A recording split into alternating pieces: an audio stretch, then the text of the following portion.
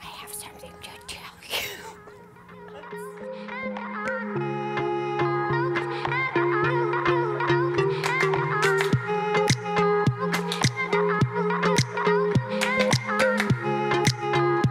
My name's Liz Grow. Yes, that is my real name. I'm Patrick Pope, and uh, yeah, I smoke weed. Hi, Mom.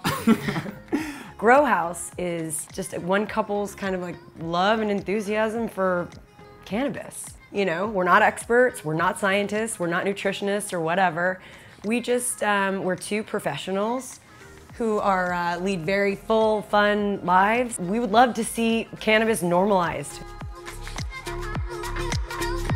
Started smoking weed kind of later in life when I was around 26, I think, and I was starting to get into more creative endeavors um, professionally. And so for me, it just really unlocked this super creative side and, and a really fun side and a really caring side. And that's why I was always just so grateful for it. It makes me feel connected to you. You know, it really does. Yeah. I started smoking um, consistently um, when I was in San Francisco in 2011. Um, I had some very, very serious anxiety um, and depression when I was there, and um, I got my I got my license to like, you know, cure whatever was going on, um, and that was amazing. And um, I'd see I'd had people in my life who were suffering, who would have benefited from weed. Um, my grandfather being one of them. Um, he was uh, he had pancreatic cancer and he was dying, and he loved food. And um, it was I just remember like trying so hard to find him weed.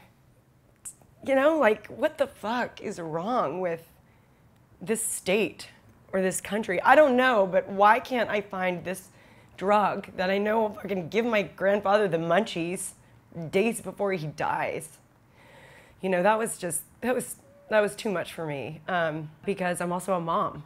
So that's why I'm doing what I'm doing today. You know, um, I don't know what this uh, vlog will turn into, um, but it definitely feels good to be able to live authentically and share my passion and that uh, I think will help a lot of people out there, you know, just learning about weed. What's the harm in that? That was amazing.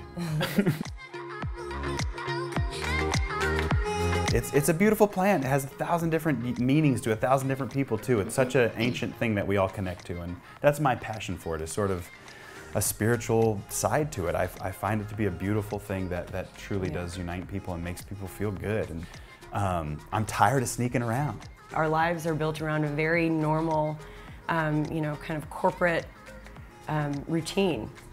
And so putting ourselves out there as the people we are, like I lovingly call myself a stoner, um, I don't know, you know, that will definitely have some ramifications. And I think we understand that. But living our truth and, and you know, kind of facilitating the conversation is bigger, bigger than that. So Totally. I envision us being the uh, Chip and Joanna Gaines of weed.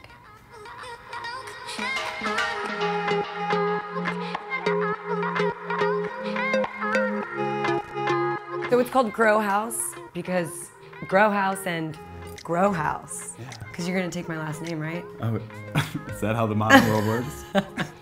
No, fuck it. You can keep your last name. Dude, we're Liz Grow and Patrick Pope Yeah. forever.